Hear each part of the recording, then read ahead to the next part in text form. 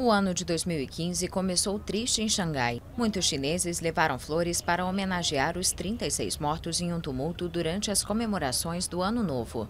Outras 47 pessoas ficaram feridas, 13 delas em estado grave. As 10 primeiras vítimas identificadas tinham entre 16 e 36 anos, a maioria mulheres. Estou triste e preocupado. Estamos sofrendo já no primeiro dia do ano novo. Vim trazer flores para homenagear as vítimas.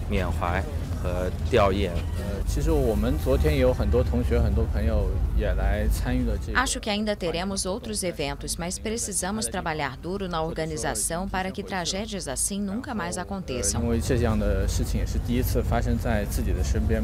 Segundo relatos, a confusão ocorreu na região de Band pouco antes da meia-noite. As causas da tragédia ainda são desconhecidas.